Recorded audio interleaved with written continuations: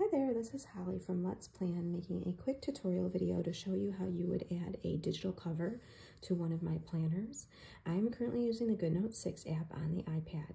You may do this on other devices with different apps. You just need to know how to operate the current app you're in. If you're unsure, just head to YouTube. There's a lot of answers there. If you cannot find the answers you need, message me and I'd be happy to try to help you. So you find your app, you open the planner you want to add a cover to, so tap on your planner. Once it's the first page here, in GoodNotes, I'm going to place a page before this. So right here, this folded piece of paper with the plus sign, I'm clicking on that. Right here on this um, options bar, I'm going to click before and I'm going to click import. This is going to take me over to the files on my device. So I have already downloaded my 80 cover options and they're in my downloads. I did this yesterday, so I just need to find them. So right here, 80 covers, I'm going to click on it.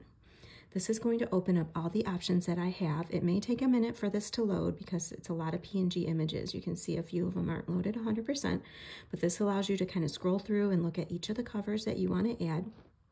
So any of them that you want, you just go ahead and scroll. I like this um, periwinkle blue with the flowers on it. So I'm going to click on it. It's going to put the check mark in the middle. I'm going to click open. It's going to take it over into the app. So now what I need to do is get it in the right position. And I do that by clicking these four little square icon here, the waffle icon or whatever you want to call it.